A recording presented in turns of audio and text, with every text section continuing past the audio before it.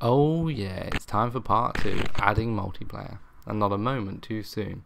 Only 20 days later. Wait, 20 days? What do you mean 20 days? How could it possibly have taken 20 days to add multiplayer? Well, it seems that in my process of adding multiplayer, I also added a bug to my project, which means that every now and again when exiting play mode, the canvas on my main menu scene gets completely deleted. Yep, so this project got shoved to the back burner for a while, but hey, it's back now. I later found out that I could fix this bug by discarding any changes, but I discovered this after I had already wiped and then completely remade the entire canvas, which in hindsight was for the best.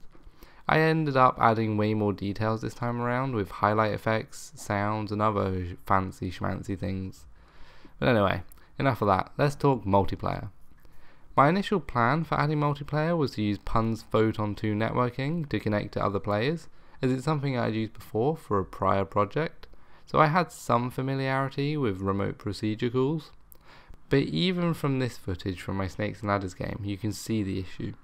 It's not so apparent when playing a board game, but when playing a racing game, the desync was abysmal.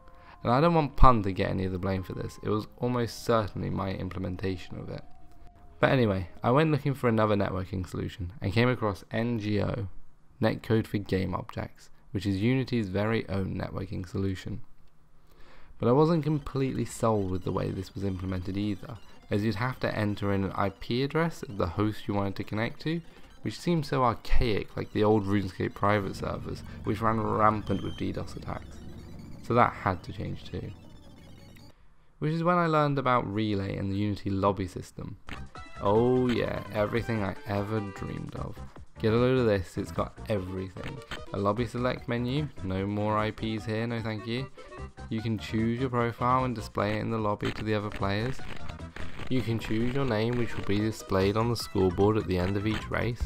And best of all, the desync was minimal. So I think I'll sign up on this video for now and I'll leave you with some footage of the game in its current state.